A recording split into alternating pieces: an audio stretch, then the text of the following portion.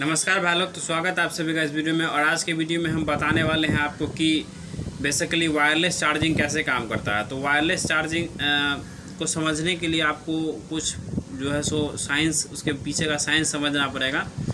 तो उसमें होता है बेसिकली कि एक मतलब एक साइंटिस्ट था जो बताया कि मतलब जब एक कॉयल मान लीजिए कॉयल ये एक रॉड है, ठीक है? इसके चारों तरफ़ से जो है सो हम बेसिकली वायर लपेट देते हैं।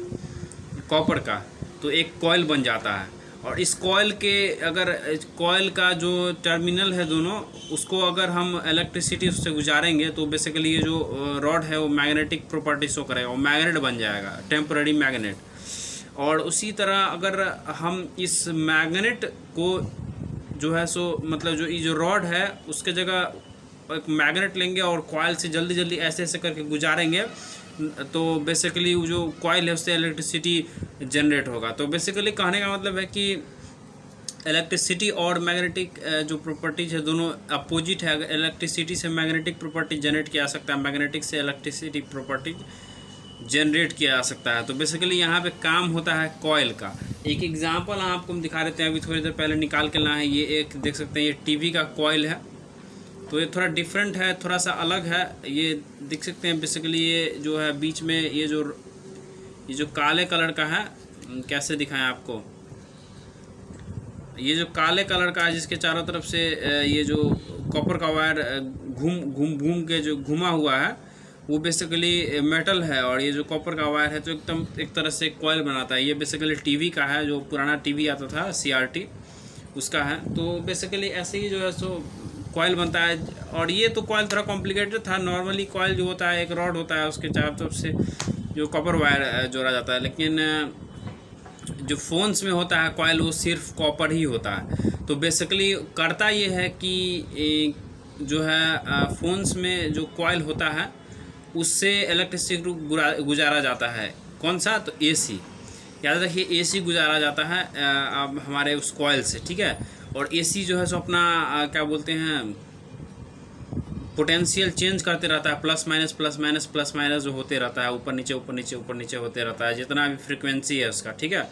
और उससे होता है कि एक इलेक्ट्रिक फ़ील्ड जनरेट होता है सॉरी मैग्नेटिक फ़ील्ड जनरेट होता है, ठीक है? या इलेक्ट्रिक फ़ील्ड भी तो वैसे भी इलेक्ट्रिसिटी से इलेक्ट्रिक फ़ील्ड जनरेट होता है, लेकिन उसमें मैग्नेटिक फ़ील्ड जनरेट होता है। और उसी एक कॉयल होता है जो पैड पे होता है, जो चार्जिंग पैड होता है उस पर और एक कॉयल होता है मोबाइल के अंदर तो मोबाइल के अंदर में जो कॉयल होता है, वो बेसिकली मैग्नेटिक फ़ील्ड महसूस करता है और उसी मैग्नेटिक फ़ील्ड को महसूस करता है जब तो उसमें चूँकि हम आपको बताए हैं कि इलेक्ट्रिसिटी अगर किसी चीज़ से गुजारिएगा एसी इलेक्ट्रिसिटी मतलब पोटेंशियल चेंज करने वाला तो वो बेसिकली मैग्नेटिक प्रॉपर्टी शो करेगा। वो भी पोटे, अथी क्या कहते हैं पोल मतलब उसका जो नॉर्थ पोल साउथ पोल वो चेंज करता रहेगा मतलब नॉर्मली नॉर्मल गुजारिएगा अगर डीसी करंट तो नॉर्मल स्टेटिक जो है स्टेटिक जो है सो मतलब आ, क्या बोलते हैं मैग्नेट शो शो करेगा एक तरफ़ नॉर्थ होगा एक तरफ़ साउथ होगा लेकिन अगर एसी गुजारिएगा करंट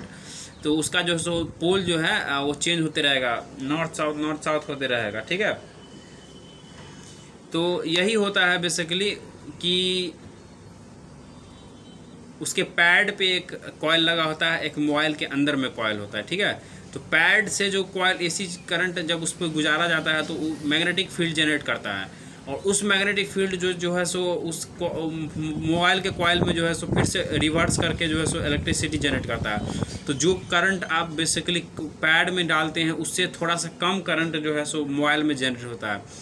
आ, मतलब कर, कम डिपेंड करता है कॉयल का बाइंडिंग कितना ज़्यादा है, इस पर भी डिपेंड करता है कि कितना ज़्यादा वोल्टेज और कितना ज़्यादा अम्पियर अगर मोटा, अगर कॉयल अगर लगाइएगा कॉयल अगर मोटा है किसी चीज़ का सेकेंडरी कॉयल तो वो जो है सो ज़्यादा करंट करेगा। मतलब जो है सो करंट जो है सो ज़्यादा मतलब जो है सो क्या बोलते हैं उसको? कैच करेगा, जो भी कह लीजिए। और अगर कॉयल लंबा है, ज़्यादा लंबा है तो ज़्यादा वोल्टेज तो उतना ही लंबा है, उतना ही मोटाई दिया जाता है कि वो एकदम परफेक्ट अमाउंट में दो एम्पियर का फाइव वोल्ट जो है, सो करंट जमा कर ले, ठीक है? तो ऐसे ही बेसिकली काम करता है इलेक्ट्रो क्या कहते हैं हमारा जो है, सो मोबाइल का चार्जिंग तो अगर आपको इसके बारे में अधिक जानना है ना तो इसके लिए आप जो है सो किसी भी फ़ोन मतलब आर्टिकल पढ़ सकते हैं इलेक्ट्रोमैग्नेटिक इंडक्शन के बारे में। आ, कुछ आर्टिकल पढ़ सकते हैं। एक तो इलेक्ट्रोमैग्नेटिक इंडक्शन दूसरा हो गया कि आ, क्या? कि मतलब हाँ यही इलेक्ट्रोमैग्नेटिक इंडक्शन और इलेक्ट्रिसिटी और इलेक्ट्रोस्टैटिक्स पढ़ सकते हैं बेसिकली। इलेक्ट्रोस्टैटिक्स नहीं क्या कहते हैं? Electromagnetic property. इलेक्ट्रोस्टैटिक्स ये सब सब जो है सो सब रिलेटेड है इससे। तो बेसिकली यही सब इसी सबसे रिलेटेड है। इसी इसी नॉर्मल फेनोमेना है। इसी पे ट्रांसफार्मर भी काम करता है। ट्रांसफार्मर भी बिल्कुल इसी तरह काम करता है इलेक्ट्रोमैग्नेटिक इंडक्शन के थ्रू उसी तरह का से जो है सो, आपके फ़ोन में भी काम करता है। मतलब ट्रांसफार्मर के तरह जो जिस, जैसे काम करता है वैसे ही ट्रांसफार्मर में जो है सो बेसिकली प्राइमरी वाइंडिंग और सेकेंडरी वाइंडिंग जुड़ा नहीं होता है, लेकिन ट्रांसफ़र होता है इलेक्ट्रिसिटी इसमें भी जो है सो, जुड़ा नहीं होता है तार, लेकिन ट्रांसफ़र होता है वायरलेसली इसलिए मोबाइल में ज़रूरी है कि मोबाइल का बैक जो है ग्लास का बना होना चाहिए या प्लास्टिक का बना होना चाहिए।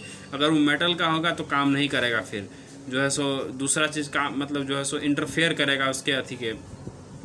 मतलब मैग्नेटिक जो प्रॉपर्टीज़ हैं, जो मैग्नेट मैग्नेटिक फ़ील्ड जो जनरेट होगा उसके साथ इंटरफेयर करेगा तो वो ठीक से काम नहीं करेगा। इसलिए ज़रूरी है कि हमेशा क्या बोलते हैं उसको? अच्छा जो भी हो, हम कुछ बोलने वाले थे। जो है सो ग्लास होना चाहिए बीच में या प्लास्टिक। तो उम्मीद करते हैं समझ में आ गया अगर समझ में आया तो इस वीडियो को लाइक कर दीजिए। और चैनल को सब्सक्राइब कर लीजिए। और भी मेरे पास बहुत सारा वीडियो होगा मेरे चैनल पर तो आप जाकर देख सकते हैं। मिलते हैं आपसे अगले वीडियो तो के लिए जय हिंद, जय भारत पीस आउट